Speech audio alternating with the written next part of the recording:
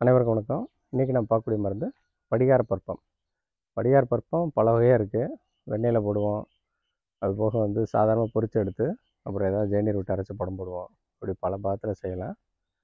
எளிமையான இன்னொரு பாகம் ஒன்று இருக்குது படிகாரம் என்ன தான் படம் போட்டாலும் படிகாரம் படம் போட்டதுக்கப்புறம் அதோட ம- அந்த பஸ்பத்தை எடுத்து நாக்கில் வச்சு பார்த்தா புளிப்பு போயிருக்கும் இருக்கும்.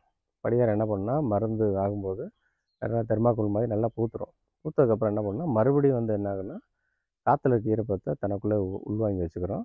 மறுபடியும் அதை ஹீட் பண்ணால் மறுபடியும் அது பொங்கி அதுலேருந்து பபுள்ஸாக வர்ற மாதிரி இருக்கும். அதனால் காற்றுல இருக்க ஈரப்பதத்தை கேப்சர் பண்ணிடும் அப்படி கேப்சர் பண்ணதை என்ன ஆகுன்னா உங்களுக்கு அது புளிப்பு சுவை வர ஆரம்பிச்சிடும். எல்லா படிகார பருப்பும் சாப்பிட்டோம்னா நாக்கில் வச்சா புளிக்கும்.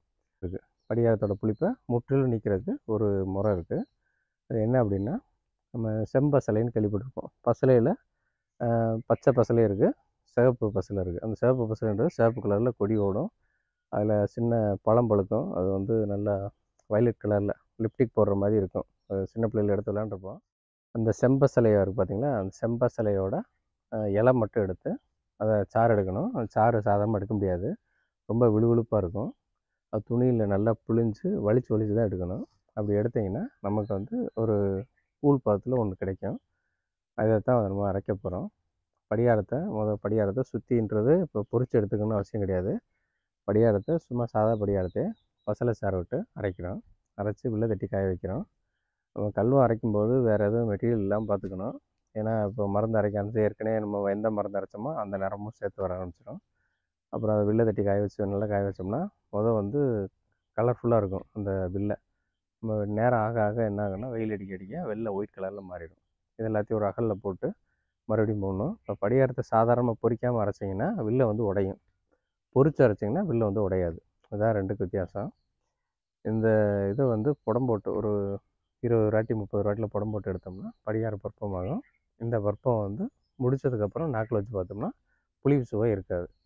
இது ஒரு வகையான படிகார பருப்பம். இந்த படிகார பருப்பமும் நீர்த்தாரை சம்மந்தப்பட்ட நோய்களை சரி பண்ணும்.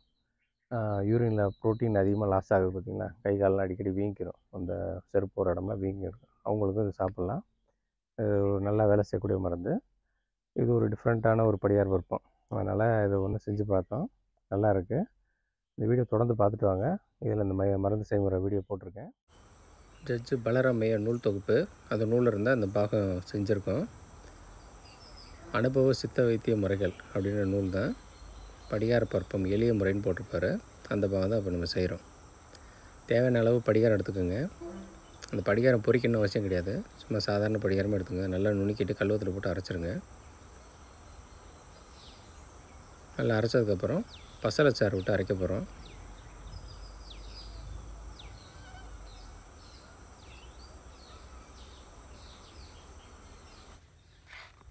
தேவையான அளவு கொடி பசலை எடுத்துகிட்டு வந்துடுங்க அந்த இலையை மட்டும் எடுத்து மிக்ஸி ஜாரில் போட்டு அரைக்கணும். அரைச்சி துணியில் புழிஞ்சோம்னா குளக்குலன்னு ஒரு சாறு கிடைக்கும். அந்த சாறு தான் இப்போ மருந்தரைக்க பயன்படுத்துகிறோம். எடுக்கும்போது அந்த இலை வந்து கொஞ்சம் நிறையா பறிச்சுட்டு வரணும். இல்லாட்டி பத்தாமல் போயிடும். நல்லா அரைச்சதுக்கப்புறம் வில்லை தட்டி காய வச்சுக்கணும். வில்லை நல்லா காஞ்சதும் தட்டில் ஒட்டாமல் தனியாக கலண்டு வரும்.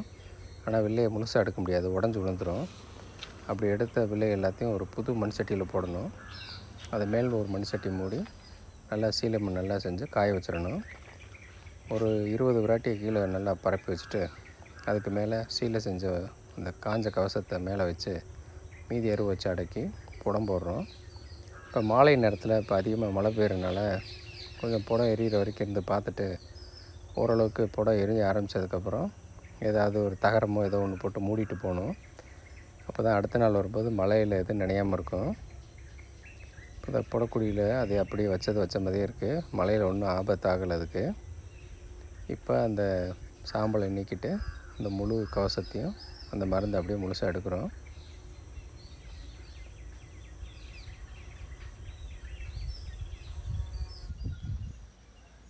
இந்த மருந்துக்கு மேலே இருக்க சாம்பல் தூசி எல்லாத்தையும் இந்த வாய் வச்சு ஊதி நல்லா வெப்பரை தள்ளிடணும். அதன் பிறகு சீலை செஞ்சதை ஒரு கத்தியை வச்சு சுரண்டி அந்த சீலையை பிரிக்கணும்.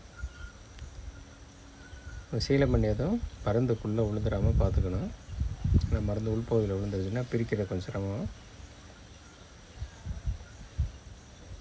இந்த மருந்து வந்து நல்லபடியாக முடிஞ்சிருக்கு. முழுசாக ஒரே கட்டியாக தெர்மாக்குள்ளாட்டம் முத்து போல் இருக்குது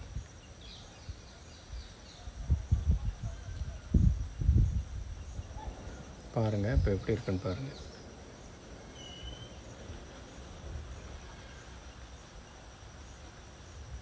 நல்லா பூத்து வெண்ணிறமாக இருக்குது இது சட்டியில் ஒட்டலை. கையில் தூக்குனாலே மொத்தமாக வந்துடுது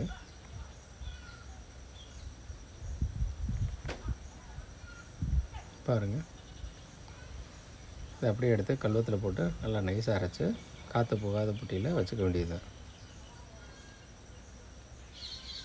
கல்வத்தில் அரைக்கும்போது கொஞ்சம் பார்த்து அரைக்கணும்.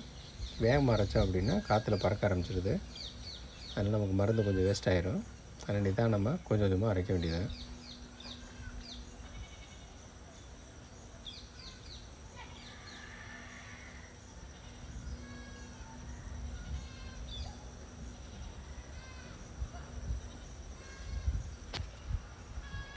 நல்லா அரைச்சிட்டு இதை காற்று போகாத பெட்டியில் பத்திரப்படுத்திக்கணும்.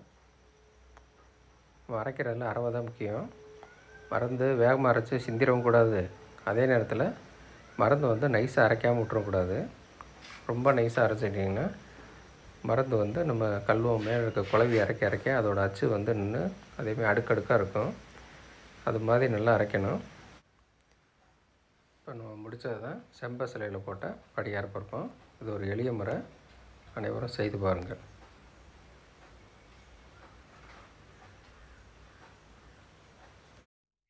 இந்த வீடியோ உங்களுக்கு பிடிச்சிருக்குன்னு நினைக்கிறேன். பிடிச்சிருந்தா லைக் பண்ணுங்கள் உங்கள் ஃப்ரெண்ட்ஸுக்கும் ஷேர் பண்ணுங்கள் நம்ம வீடியோ தொடர்ந்து பார்த்து சித்த மருத்துவ நாலேஜை வளர்த்துக்குங்க. மீண்டும் நாளை வேறொரு மருந்து செய்முறை வீடியோவில் சந்திக்கிறேன். நன்றி வணக்கம்.